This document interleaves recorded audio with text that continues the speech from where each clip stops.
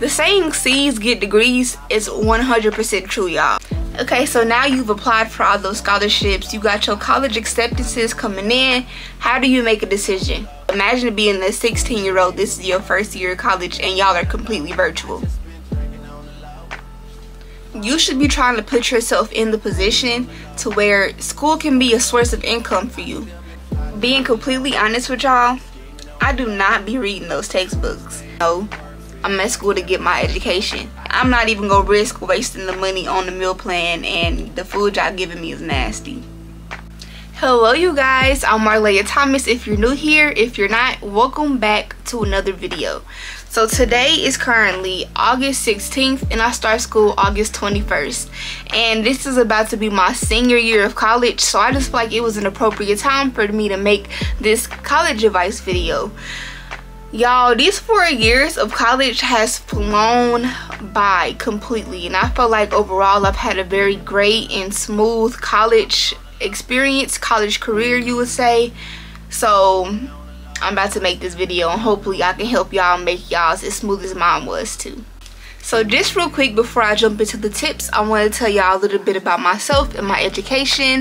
Um, I'm majoring in business administration with an emphasis area on real estate.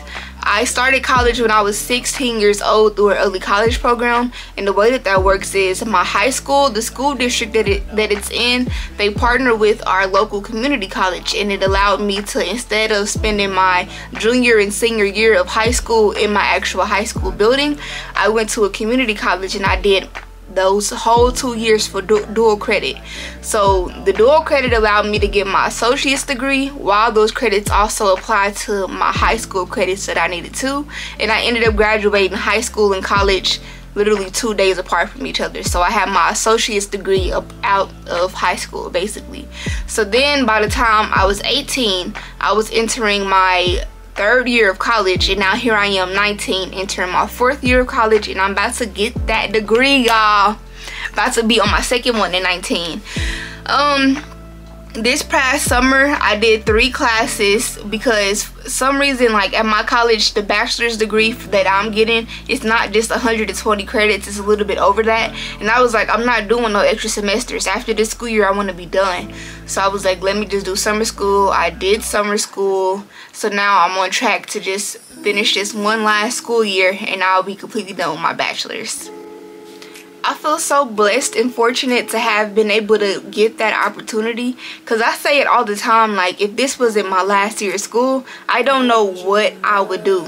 I'm so sick and tired of being in school and doing homework and having to go to campus. I can't imagine if this was just like my sophomore year like if I was actually just on track instead of being ahead. If this was just my sophomore year and I still had two more years to go I see why people drop out of college. I really do. But let's get into those tips so hopefully my experience and what i have to offer y'all to stop y'all from thinking like that too tip number one is perseverance I feel like there's two very important stages where you have to persevere and it'll make a complete difference in your college career. So the first place is when you're actually applying to colleges and applying for scholarships and all that type of stuff. I know how annoying that part of life can be you're in your senior year. You're trying to have fun with your friends because it's your last year in high school together. You have all these assignments and finals and all that stuff that you have to do to finish up at school there. All your teachers are telling you that you got to meet these different requirements and apply to this many colleges and da da da da da you got your family breathing on your back like where you gonna go? Go to a HBCU do this do that. And you still are trying to figure out how you about to make this transition in life and make the best decision for you. I get it. It's tough but you have to persevere through this. Because it's so easy to get exhausted with all those things going on and you'll just feel like huh i don't feel like applying to no more colleges. I don't feel like applying to no more scholarships. Apply to every scholarship that you feel like you even if you don't feel like you might get accepted for it. Take that chance and still apply for every single scholarship y'all you should be trying to put yourself in the position to where school can be a source of income for you I have a full ride scholarship and then I have additional scholarships and I get a Pell Grant. My full ride scholarship takes care of all my tuition. So everything else that I get, it literally just comes right back to me. I don't have to pay, I'll pay for my textbooks out of it, but that's literally it everything else I get to keep that and I get to use school as a source of income for me because I applied for so many scholarships. And you have to like sometimes dig deep there's specific scholarships for you being like of a certain ethnicity or you identify with any type of certain groups. Like there's so many scholarships that are not just sports and academic scholarships and you're gonna be missing out if you don't persevere through that stage and get through the tiredness get through the annoyingness and still just go for every opportunity that you don't know that you will be missing out on if that makes sense. The next stage that i feel like is very important for you to persevere through is this right here. Your last stretch of your senior year of college y'all. Because I'm kind of like okay I'm ready to jump into my career full force. I'm ready to be able to do what I want to do and allocate my time to those specific things opposed to having to sit here and still do homework and everything else. Like life is carrying on and I'm still in school. That's how I feel and it's like you're so close to the finish line but it's that right there. The fact that you're so close and you can see the light at the end of the tunnel that makes you just want to be able to grab it but you can't get is frustrating. And that's just something that you just have to get through. Okay so now you've applied for all those scholarships. You got your college acceptances coming in. How do you make a decision? My biggest thing that i say for that is follow your heart. Follow what you want to do. Don't let nobody be in your ear telling you anything. Don't go to a school because it's popular or just because it's an HBCU make the decision that you feel like is best for you this might sound a little cliche but if you have to take all the schools you got accepted to and write down a pros and cons list if that's how you want to have your criteria for you to decide what school to go to. Or pick the one that gives you the highest scholarship so you're coming out of college with the least amount of debt. Things like that for me personally i'm an only child and my parents are amazing and like they're not strict parents or anything. They don't bother me or anything like that. So i've just never been in a rush to hurry up and move out the house or get away from them or anything like that. So i had no problem with going to college in my hometown. Um, other people might have other motives for wanting to move out and go to a college in a different state and things like that. If that's what's going to help you make your decision know that, that you don't want to go to a school in your hometown. Rule all those out. Cross those off the list. I've never been one of those people that be like, I want to go to a HBCU. I have to go to a HBCU. Or I'm going to a school with the intentions of being able to party and kick it and all that type of stuff. No, I'm at school to get my education. And I have zero regrets that I'm going to a PWI because I'm graduating debt free. My my light just died y'all. Hold on. But like I was saying I'm graduating debt free I'm getting the exact same degree that I would be getting if I paid for it if I went to a HBCU if I went to any different other school you know. And I've gotten a great education. I've learned so much in my school. So what I'm saying is basically it don't really matter what school you're going to. It doesn't matter as long as the curriculum is good you feel like you're to learn something. You feel like you're to get a lot out of what you got from going to that school. You feel like you're not to regret your decision. That's the school you need to be choosing. Something that I wish I would have done differently was not be as hard on myself. I remember in like my especially my first year of college but like my first and second year of college I would be in my room doing homework for hours trying to make sure that I perfected everything trying to make sure that I got an A on every assignment and A in there. I'm talking if my A was a 90% and not a 95 100 I wasn't satisfied. I was super hard on myself and it was draining and you don't want to drain yourself like that in the beginning or really at all. So I wish I would have kind of cut myself some slack and let myself know like it's okay. Everything doesn't have to be so perfect. But i also feel like uh, some of that comes from your high school experience. I just felt like over and over again teachers would say okay y'all gotta get it together because in college y'all professors ain't gonna take this.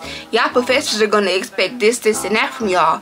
So it puts the pressure on you that makes you feel like you have to be perfect in college when in reality that's not the case The saying C's get degrees is 100% true, y'all. If you get C's in every class throughout the entire college career that you have, you're gonna get the exact same degree if you would have gotten all A's. Literally. So I'm not saying like go into it with that mentality, but I'm just saying if you mess up, if you feel like you're struggling to be perfect or anything like that, don't try to be. Now keep in mind that your GPA does matter if you're in like any organizations or you're trying to qualify for any scholarships. Your GPA does matter. And also you don't want to like mess up your GPA in the beginning. And then by like your junior year of college you start to care more and you try to start applying for more scholarships and things of that sort. And you're trying to build your resume and apply for jobs and get accepted for internships and now you're trying to play catch up because you messed up your GPA in the beginning. Now you're trying to get all A's so you can balance it out. No, in the very beginning you're gonna want to try and do good so you don't have to play catch up like that. And that brings me to my next point, which is do things that is going to build your resume. Whether that's student organizations or you having a certain scholarship or you've done multiple internships throughout your college career, do things that is going to build your resume, especially because you never know by the end of your college career what you're going to want to do. Me right now as a senior i am not the same person that i was when i was a freshman. Of course this entire time even before i went to college i knew that i wanted to get into real estate. I knew that i wanted a business degree but i'm interested in so many other things now that I would be able to apply for and try to get myself into just because I do have a very thick and long resume that it would look good and help me get myself into those doors because I built that resume for myself basically. Like you don't know what what you're doing right now, how it's going to be able to set you up for in the future. You want to make sure that you're setting yourself up for any possibilities and not cutting yourself off from anything because you're just focused on having fun right now. Like, no, actually do stuff that's going to build your resume. Next, I want to speak about studying. It is so important that you learn your study style and how you want to be able to teach yourself because in college you're going to have to do that a lot. Um, the professor in most colleges classes can be anywhere from 60 to 200 people like you're never going to know. And there's not always going to be a moment when that professor is going to be able to call on you when you have a question or cater to your specific needs. You're going to have to learn how to adapt and really teach yourself. My very first year of college I was 16 years old it was 2020 and the pandemic had just happened so we were out of school. That whole first year was completely online and it was just crazy. Like imagine being a 16 year old this is your first year of college and y'all are completely virtual not even gonna lie to y'all i would be tired in them zoom classes half sleep. So by the time it was over i would just be teaching myself from the textbook and retaking notes and everything like that. And then by me doing that it helped me realize that that was my learning style anyway that's how I learned the best when I go through everything and I just teach it myself me listening to the teacher just lecture does no benefit to me actually retaining the knowledge so that's what it is y'all y'all have to figure out what it is that's going to help y'all retain the knowledge the most I feel like in school it's always, oh, are you a visual learner? Are you a this type of learner? But they don't actually give you the tools to like set yourself up for that learning style independently. Like you shouldn't have to rely on the teacher or being around other students, anything like that, for you to be able to ingest that knowledge. Like you need to be able to teach yourself because at the end of the day, that's what's going to give you the most benefit. I plan on posting on here different videos of how I stay organized, how I take my notes, how I teach myself, all of those different things, how I stay on top of my work. So I'll be able to give y'all some more in-depth tools when it comes to that. But I'm very self-sufficient when it comes to school and my learning because going to those lectures, they don't be helping me.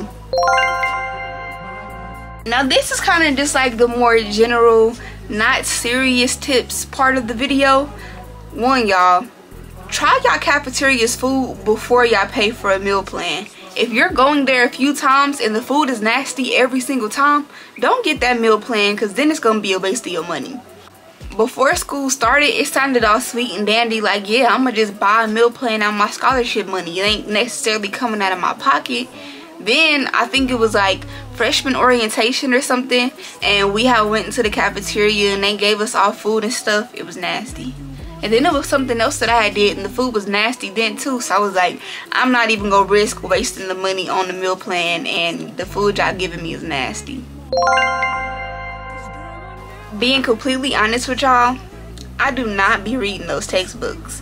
Out of all the classes that I've taken, I've probably like actually went through like maybe three different textbooks and used them to do my work my classes have always just been set up to where I'm able to do my work without actually reading the textbook except those three that I had just mentioned. But my last semester, I'm still trying to be a good student. I'm knowing this already, like I never use the textbooks, so why waste my money on it? I'm still trying to be a good student. I buy the textbooks, don't use them. So this semester, for my summer semester, I just tried it out. I didn't get no textbooks and I got an A in every single one of those classes. But do that at your own risk, y'all. Like, once again, I'm very good at teaching myself and I'm able to pull from like the class lectures and class notes and things like that.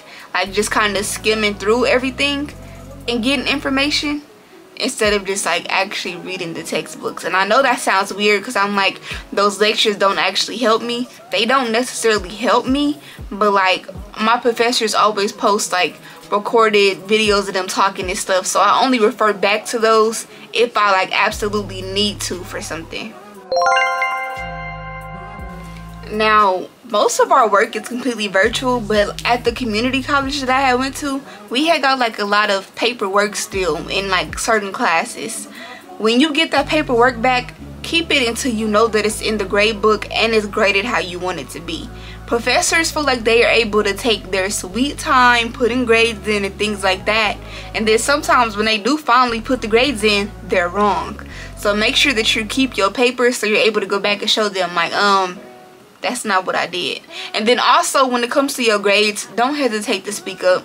If you feel like you've been graded wrongly for something or you feel like you deserve more than what you actually got or something like that, email your professor set up a meeting to talk to them anything like that. Because nine times out of ten they're going to be willing to talk to you and listen to you if they're a good professor and y'all will be able to come to an understanding and reach a conclusion. My sophomore year of college i had a chemistry class and he had put my grades in like wrong for a few different labs. And i had my lab sheets and i was able to go back and show him like i did do this work i did answer this question i did get these answers when i did my experiment why is my grade this and then he was able to go in there and change everything for me and i think at one point my grade was like a c in that class and i told you at that time i was a perfectionist so i'm like I can't have no C. My parents have never even like been on my butt about my grades or anything. So that's just like me putting the pressure on myself. I can't have no C. So I went and talked to him about it and it ended up bringing my grade from a C to an A. Just because he changed those things that he put in wrong. So don't let the teachers get away with that. And the last thing that I want to touch on is have a feel of what your workload is. Because technically, four classes is considered a full schedule. At least I know at my school it is. And I think that's kind of like standard at other colleges too four classes can be a full schedule. If you feel like having more than that is too much or too big of a workload for yourself and the life that you have, there's nothing wrong with only doing those four classes. It might take you longer to graduate, but there's nothing wrong with that. I'd rather you go slower and actually get things done and learn and perform to your best ability opposed to rushing through college than not succeeding and you getting drained and wanting to drop out and all that type of stuff. Know what your workload is. Then on the other hand of that, if you feel like four and five classes is easy for you, do more. This coming up semester, I'm taking six classes because like I said, I'm ready to get it done and over with. If you're able to take more classes and get it done faster, get your degree done and over with. Do summer school. Do all that. Summer school was so light, y'all. I think it was like seven weeks in total. I did three classes, which is technically considered a full summer schedule, like three classes during the summer. They would say like that's a lot of workload because whatever it wasn't. Um, it was all completely online asynchronous like i didn't have zoom meetings or anything like that that i had to be at on the regular. I was able to just do my work and fly through it. Know your workload. If you can handle more take more so you can get it done and over with but you guys that is it for this video i thank you so much for listening to me if you are new here please hit that subscribe button so you can continue to listen to me watch my videos see what i have to offer if you guys have any questions for me don't hesitate to let me know in the comments if there's anything that i didn't touch on that y'all want to know about or like y'all have anything specific that y'all want to know just ask me and I would love to answer for y'all. My DMs are always open on Instagram. Just talk to me. Thank you so much for watching.